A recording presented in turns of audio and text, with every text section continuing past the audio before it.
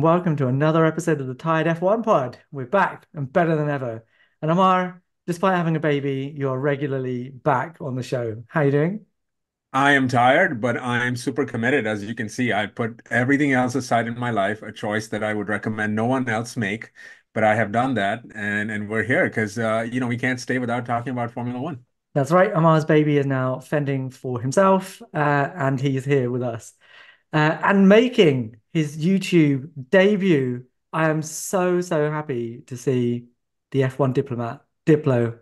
How are you? I'm good. I'm also tired, but I think it's just part of the name of the podcast, right? And so I just want to push back a little bit there on uh, on on the the Lewis has lost motivation or Lewis has has, has had it kind of thing. And, and I know so this is exactly what the fan bases are guilty of, um, and we're doing it right here because it's, it's just it, this is how easy it is to fall into that trap of you know you're talking about talking up one driver, it's automatically talking down the other driver.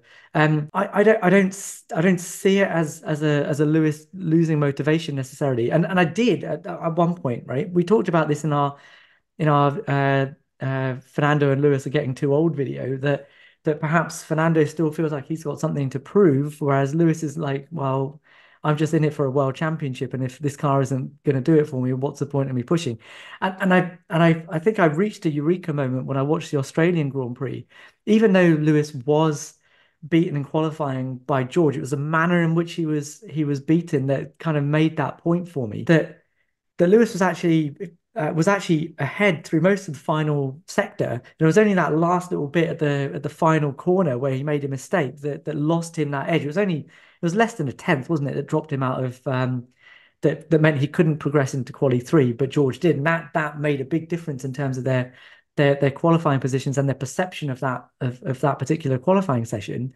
But but the margins were small, and and for me, what that told me was was that Lewis is still pushing. He's still trying to find something in that car. He said this himself that he's that it's not just about getting the most out of this car. That's not what what it is. He's trying to find that.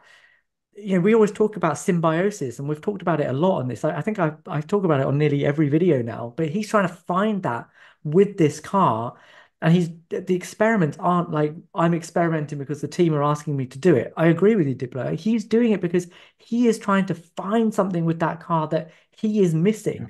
And the fact that he keeps trying to do that suggests to me that he hasn't lost motivation, that he's still trying to find something, even in his final season of a team that he's going to leave. He's been there for it'll be nine years, 10 years by the time he leaves um, and goes to Ferrari, he's still trying to find that special something that that he doesn't have uh, yet.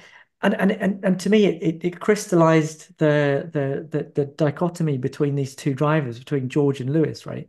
That and I really, really don't want anyone to take this the wrong way because I'm I'm not trying Uh-oh. to mean it disparagingly oh, no. to anybody. Oh no! but but what you said about Diplo, what you said about um, George being used to driving a car that isn't quite there, at, at Williams is what he's showing now at Mercedes that he's absolutely he's able to absolutely maximize what what a recalcitrant car can do, right? And and this this is a this is a talent that, that we see someone like Fernando has as well, you know. And we all talk up how amazing Fernando is that he can take a dog and make it shine, right? And that's what George is starting to show now. And over the course of the last three seasons, he's putting that car in places that it shouldn't really be because he's he's able to to to absolutely maximize. I'm not going to say that he's getting results out of it that it can't get because physics doesn't allow that, but he's getting the absolute most out of it. Whereas Lewis, I feel, is just not happy with that level. Like perhaps he could mm. get that level, and and in in races like you know Japan just just now and um, you know, the, the, latter half of 2022, you could see that that you know he just sort of accepted it. it like, All right, fine. This is just what the car can do. This is what I'm going to do. But but in the sessions where he's not able to do that, um, that there seems to be a sense that I'm fighting to get more out of this car because I think there's more out of it. There's, there's there there must be a, a better level for me to be able to win races and championships, and and that's what I'm aiming for. Mm. And there's a subtle difference there between the two. Neither is Go on, Diplo. You, have got your finger. I, I, yeah. Uh, the only thing that I was going to say Yeah. Yes. Yeah. No, I'm not mad at what you're saying. It's hundred percent true. Um, and but I would argue, and I think you you like the tweet that kind of alluded to what I'm about to say earlier. I think in the week, the only difference between when people talk about Fernando, Max, and Lewis are not at the or uh, uh, Charles Lando and George are not at that level. Yeah, because they've never had the opportunity to challenge for a championship you. yet. Thank so we don't know Thank you. how they will act and or react. Yes. So George, at this point, all he can do is try to squeeze the most out of a car because he 100%. doesn't know what it's like to have a championship winning car. Lewis has had multiple, so he's like, this is not up to the standard of winning a championship. I'm gonna try to find how I can make it there. more. Yeah. And that's the nuance that doesn't get taken into consideration. It's not that they're different. I mean, I'm sure that they're different people. They have different driving styles. They have different personalities. Everybody is unique in that sense. But the one thing that one driver definitely does not have, and the other one definitely does have, is championship challenging experience and championship winning experience.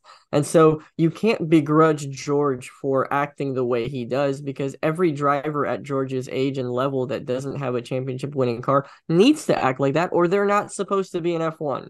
That's what I don't understand because Yeah. most people are like, Yeah. he's so competitive, elbows out, willing to push his teammate. It's like, yeah, show me a driver that doesn't do that, and I'll show you a guy who fizzles out in two seasons because they're not supposed to be in the sport.